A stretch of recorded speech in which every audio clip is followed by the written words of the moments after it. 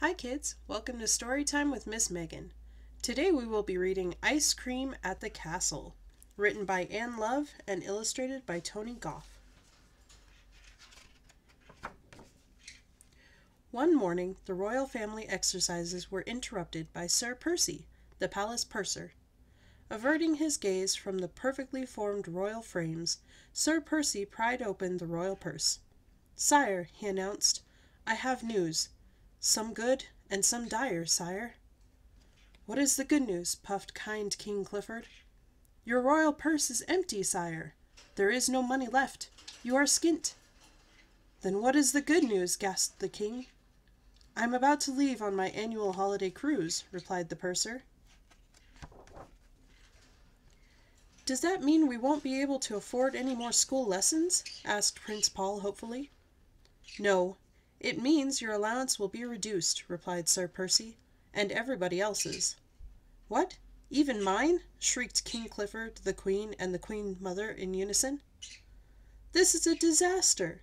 Please, dear Sir Percy, tell us how we can raise money.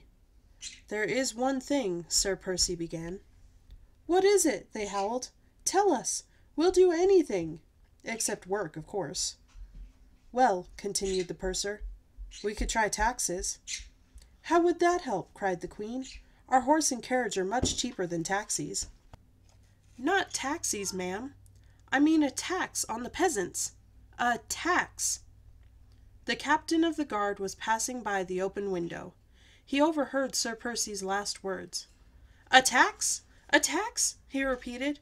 Oh no, we're being attacked! He ran as fast as he could to the battlements. Man the guns, men! That ruthless, rotten ruffian, King Rudolph, is sending his troops to attack us. The soldiers manned the battlements, guns at the ready, and waited, and waited, and waited. When at last the penny dropped, everyone in the castle began to worry about paying taxes or losing their jobs. Meanwhile, Prince Paul had arranged to have a picnic with his friends, Prince Peter and Princess Eleanor, in the valley which lay between the two kingdoms. Oh dear, you don't look very happy today, said Princess Eleanor. Whatever is the matter? Prince Paul told his friends about the problem with his allowance, and as they ate, they thought. I know, suggested Princess Eleanor at last. Why don't you open your castle to the public and charge people to go in? Prince Paul leapt into the air for joy. What a great idea! Let's go and tell my father. Even better, let's make the arrangements ourselves. When they reached the castle, they ran straight to the kitchen. The cook was crying into the soup she was preparing for dinner. Dr. Potamus, Prince Paul's tutor, was trying to cheer her up. When she heard their plan, the cook brightened up. I can make snacks to sell to the visitors, she said. But what? All I've got to cook with is bones. It isn't as bad as all that, said Dr. Potamus. We still have milk from the dairy and fresh fruit from the orchard, and there is plenty of snow and ice in the mountains. I am sure I have just the recipe in my ancient Persian cookbook to make this idea work. When the gong didn't sound for dinner, King Clifford went down to the royal kitchen where he found Dr. Potamus with three very happy children. Where is my dinner? bawled the king. I'm starving. We've been waiting and waiting and waiting. Well, your majesty, replied the tutor, cook has made soup with old bones. Or there's snow cream, my new invention. What do you mean there's no cream? asked the king, taking his first lick. This is a nice cream. Give me some more. You are right, sire, as always, wheezed the tutor. Ice cream is a much better name. After he had eaten his fill, the king was in a good mood. He thought Princess Eleanor's idea of opening the castle to paying visitors was a very good one. When they hear about my ice cream, announced the king, visitors will flock to the castle. We will send out messages far and wide, but we must keep it a secret from King Rudolph. We don't want competition on our doorstep. But how will people find their way? asked Prince Paul. We'll have to give them directions. King Clifford agreed. That's why I have a royal chart maker. Now he will have a chance to display his skill. This is a supreme example of my craft, boasted the royal chartmaker a little while later. The children thought they could have done better. Maps have to be very clear for grown-ups to follow, said Prince Paul. My father is always losing his way.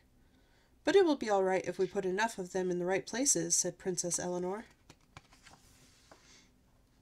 As the big day approached, the cook and the tutor worked feverishly to prepare a ton of ice cream. The Queen Mother and her cats played their part too, testing the results. When the royal printer finished producing the maps, the king handed them to the captain of the guard. Tell your men to paste them on all the trees, he commanded. The children were upset. The maps had been their idea. Pasting them on the trees was another job they had looked forward to. The day and the hour arrived. The sun shone. King Clifford, the Queen, the Queen Mother and her cats, the princes, Princess Eleanor, and the royal household waited, and waited, and waited. But the expected visitors did not arrive. The ice cream began to melt. Let's go and see my grandmother, suggested Prince Peter. She is bound to know what the problem is. Prince Paul and Princess Eleanor agreed. Prince Peter's grandmother really was extremely wise. As they crossed the valley, the children saw hordes of people making their way to the castle of King Rudolph. Something very odd is going on, said Prince Peter, but I just can't figure it out. Can you? Meanwhile, inside King Rudolph's castle, unexpected visitors were pressing money into the perplexed king's palm. Is this the revolution? he wondered uneasily. I thought revolutionaries looted, not gave money away. Everything in the castle seemed to interest the visitors, but in spite of their good nature, King Rudolph wished he hadn't given his guards the day off.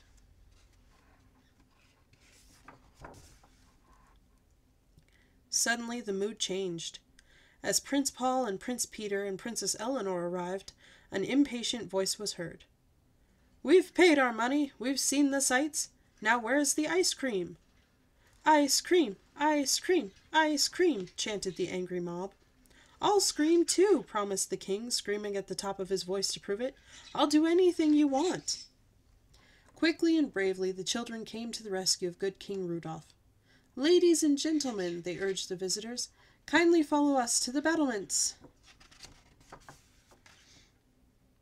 You are at the wrong castle, smiled Prince Paul. Over there, look! That's where the ice cream is. Shrugging their shoulders, the visitors set off doggedly across the valley. You had better come too, Uncle Rudolph, said Princess Eleanor. You will like ice cream. Everybody does. Clifford, old chum, promised King Rudolph an hour or so later. Give me some more ice cream, and I will give you this sack of lovely money. And so King Clifford's financial crisis was solved. With a little help from the visitors, the ice cream was saved from melting. For a while, all the grown-ups were happy at the same time. The children were happy too. Their plan had worked. But still they wondered why the visitors had gone to the wrong castle. The next morning, Prince Paul, Prince Peter, and Princess Eleanor took a closer look at the maps on the trees. Then they understood that this is a topsy-turvy world. Maps do not always help us find our way. Money problems have toppled kingdoms before and since, but no one has ever been disappointed by ice cream. The end.